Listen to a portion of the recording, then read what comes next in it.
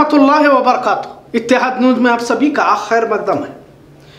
मुसलमानों का चार फ़ीसद रिजर्वेशन रद्द कर दिया गया। ऐसा लगता है कि अब धीरे धीरे मुसलमानों को दूसरे नंबर के शहरी की तरफ़ धकेला जा रहा है। वैसे भी किसी भी तरह की न्यूज़ आप पेश करो, एतराज़ात कुछ लोगों को ज़रूर होते हैं। जब हकीकत बताई जाए तो इन्हें ऐसा लगता है कि हम डरा रहे हैं। दुश्मनों की साजिशों का तस्करा किया जाए तो मुसलमानों को खौफजदा कर रहे हैं, कहते हैं।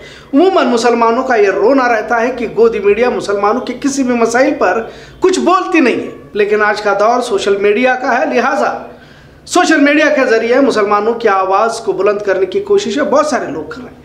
खैर, जब कोई बोलते हैं तो एतराज़ात किए भी जाते हैं, लिहाजा मुसलमानों के मसाइल अनगिनत है और ये बढ़ते ही जा रहे हैं। हाल ही में रियासत कर्नाटक की बम्बई हुकूमत ने एक और रमज़ान का तोहफा इस तरह पेश किया, जिससे मुसलमानों के मुस्तकबिल पर ही सवालिया निशान खड़ा कर दिया गया और बात अब बिल्कुल वाजह होती जा रही है कि क्या मुसलमान दूसरे नंबर के शहरी बनने की तरफ़ धकेले जा रहे हैं? बम्बई हुकूमत ने बड़ा अजीब फैसला लेते हुए मुसलमानों को लेकर चार फ़ीसद रिजर्वेशन रद्द किया। इससे मालूम होता है कि किस तरह की नफरत इनके दिलो जहन में है।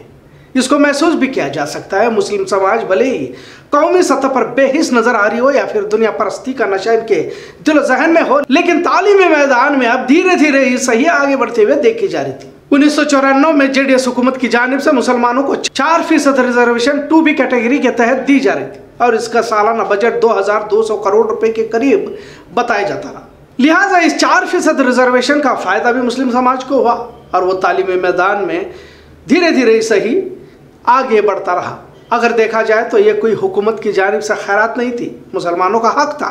क्योंकि दिगर लोगों को मजहबी रिजर्वेशन के तहत इससे भी ज़्यादा सहूलतें इससे पहले भी दी गई और अभी भी दी जा रही है। लेकिन भाजपा हिंदुत्व और मुस्लिम मुखालिफ की आलमबरदार बनकर अपने आप को पेश करती है और एक मुनजम साजिश के तहत अंजाम भी देती रही है। बम्बई हुकूमत ने इस रिजर्वेशन को खत्म तो किया ही और फिर जख्मों पर नमक की तरह वक्कलीगा और लिंगायत समाज में चार की जगह छः फ़ीसद और लिंगायत को पाँच फ़ीसद की जगह सात फ़ीसद, यानी जो मुसलमानों के चार फ़ीसद थे, वो इन्हें दो दो फ़ीसद करके तकसीम कर दिए गए, यानी मुसलमानों का हक छीन कर दिगर जातियों को दिया गया, ताकि मुसलमानों से दुश्मनी और अक्सरियत समाज को खुश करना इस तरह दोनों कामों को आसानी के साथ अंजाम दिया गया। आखिर टू बी कैटेगरी है क्या? और कितना बड़ा नुकसान मुस्लिम समाज को हुआ? और किस तरह से ये फ़ायदा उठाया भी जा रहा था? तकरीबन स्कूलों में पढ़ने वाले मुस्लिम तलबा तालिबात प्री मैट्रिक या पोस्ट मैट्रिक स्कॉलरशिप हासिल करते हैं और वो इसी टू बी कैटेगरी में आती है। यूपीएससी केपीएससी नर्सिंग एलएलबी सरकारी ट्रेनिंग भी इसी स्कीम के तहत हासिल करते थे। आईटीआई जर्नलिज्म में इंसेंटिव और स्टेपन भी इसी टू बी के तहत अब तक हासिल करते रहे। विद्याश्री स्कीम हो या फिर विदाई स्कीम बुढ़ापा पेंशन बेवाओं के लिए रुपये एम फिल पीएचडी के लिए फेलोशिप इसी स्कीम के तहत कुछ मुसलमानों को इससे फ़ायदा हासिल हो रहा था। श्रम शक्ति, गंगा कल्याण, टैक्सी और ऑटो रिक्शा लोन भी हासिल हुआ करते थे, लिहाजा अब इन्हें रोक दिया गया कहा यह भी जा रहा है कि बम्बई हुकूमत ने सौ साल की घड़ी के कांटों को पीछे मोड़ दिया। सन 1918 में मिलर पैनल से लेकर 1990 तक, वो चिन्नप्पा रेड्डी कमीशन तक, उन्होंने सभी मुसलमानों को एक या दूसरे तरीके से समाजी तौर पर पिछड़े होने में पहचाना था। तारीखी जायजे के बुनियाद पर उन्नीस में पिछड़े वर्गों को टू बी कैटेगरी में मुसलमानों को शामिल किया गया। लिहाजा सियासी मुफात हासिल करने के लिए भाजपा बम्बई हुकूमत ने चार फ़ीसद रिजर्वेशन को रद्द कर दिया। इस टू बी रिजर्वेशन को रद्द करके दो दिन से भी ज़्यादा अरसा गुजरा, लेकिन मुस्लिम समाज में किसी तरह का कोई रद्द अमल अब तक तो नज़र नहीं आ रहा। कुछ जगह पर मीटिंग लेने की खबरें, बातें, मशवरे हासिल तो हो रहे लेकिन कोई ऐसा ठोस कदम उठाते हुए अब तक नज़र नहीं आ रहा। अब तक ना तो किसी सियासी पार्टी की जानब से और ना ही किसी मजहबी दीनी रहनुमाओं की जानब से किसी तरह का बयान देखा नहीं गया।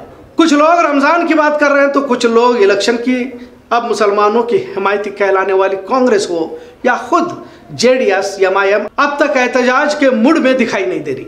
कुल तस्वीर का जायजा लिया जाए तो मुसलमान दूसरे शहर की तरफ़ धकेलते हुए देखा जा रहा है। अगर इसी तरह हुकूमत शरई मसाइल में, दीनी मसाइल में, साथ में रोज़मर्रा की ज़िंदगी में भी दखल अंदाजी होने लगे तो इसे क्या कहा जा सकता है? इसी दरमियान कल यूपी मुरादाबाद में एक तस्वीर नज़र आई। वो थी कि तरावी की नमाज़ को बजरंग दल के गुंडों की जानब से रोका गया। क्या अब अपने जाती मकानों में भी नमाज़ अदा करने से रोका जाने लगा है? हुकूमत खामोश है। और यह खामोशी एक तरह से उन बजरंग दल के गुंडों की हिमायत है। तस्वीर साफ़ होती जा रही है अब मुसलमान इस मुल्क में दूसरी शहरी बनने के कगार पर पहुँच चुके हैं। कुछ जगहों पर एहतजाज की खबरें हासिल हो रही है, लेकिन बड़े ही धीमी आवाज़ में एतराजा दर्ज किए जा रहे हैं। यकीन चुनाव नज़दीक है और अक्सरियत माशरे को खुश करने के लिए इस तरह का कदम भाजपा हुकूमत की जानब से उठाया जाना कोई ताजुब की बात नहीं है। अब सवाल यही उठता है कि हर लिहाज से मुसलमानों को इस तरह पीछे धकेल कर कहाँ ले जाना चाहते हैं? दिगर मजाहिब के लिए कितना फ़ीसद रिजर्वेशन है? इससे किसी भी मुसलमान को एतराज़ नहीं है। पर मुसलमानों का चार फ़ीसद रिजर्वेशन रद्द करके वकलीगा को इन्हीं में से दो फ़ीसद और लिंगायत को भी मुसलमानों के रिजर्वेशन से सात फ़ीसद करना कहाँ तक दुरुस्त है? या सी को भी रिजर्वेशन में इजाफा करके इनके भी वोट हासिल करने की कोशिश भाजपा की जानब से की गई है। एक रिपोर्ट के मुताबिक मुस्लिम लड़का लड़की तालीमी मैदान में आगे बढ़ रहे हैं। कहीं I S I P S अफसरों में इजाफा होने की तला भी हासिल हो रही है। और मुसलमानों का इस तरह बढ़ना ये एक बाईस फख्र बात कह सकते हैं। हिजाब का मसला उठाकर मुस्लिम लड़कियों को तालीम से रोकने की कोशिश की गई और अब तो रिजर्वेशन को ही खत्म करके हर लिहाज से माजूर करने की कोशिश की गई है। इतना तो ज़रूर है कि मुस्लिम समाज किसी सहारे का मोहताज नहीं है।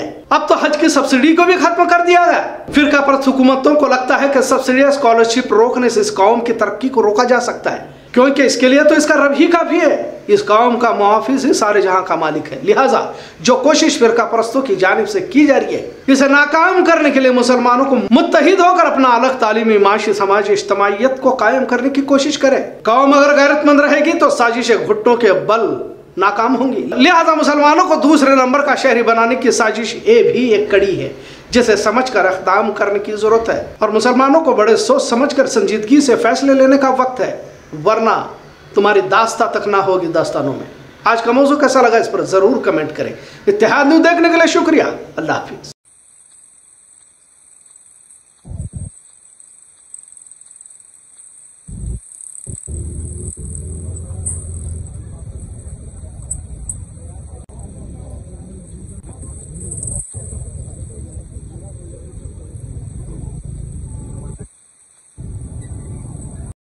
क्या नाम है भैया आपका? रोहन सक्सेना प्रदेश अध्यक्ष राष्ट्रीय बजरंग दल। क्या मामला है रोहन जी आप इस लाजपत नगर में? आज लाजपत नगर के अंदर ये रस्तोगी इंटर कॉलेज के पास एक जाकिर नाम के व्यक्ति का अपना निजी मकान है।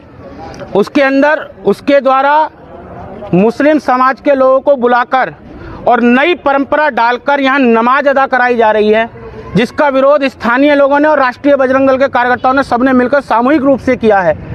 हम कोई भी नई परंपरा नहीं पढ़ने देंगे। इस शहर के अंदर अशांति फैलाने वालों पर हमने शुरुआत से कही है कि मुकदमा लिखा जाए।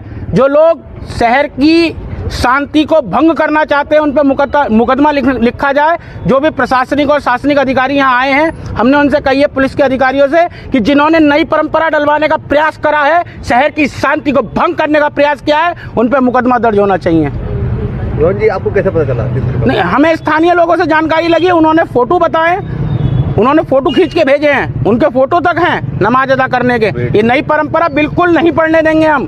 और लाजपत नगर में नहीं पूरे मुरादाबाद में नहीं पूरे उत्तर प्रदेश में पूरे देश में नई परंपरा नहीं पढ़ने देंगे। स्थानीय पुलिस ने आगे क्या करा? स्थानीय पुलिस ने आगे वीडियोग्राफी करी उनसे पूछताछ करी और मुकदमा पाबंद किया जाएगा। हमारी बात हुई है इन पे मुकदमा दर्ज होगा जिन्होंने नई परंपरा पढ़वाई है इन पे मुकदमा दर्ज होगा। हम साथ और अगर नहीं हुआ तो फिर राष्ट्रीय बजरंग दल आंदोलन करेगा। साथ हैं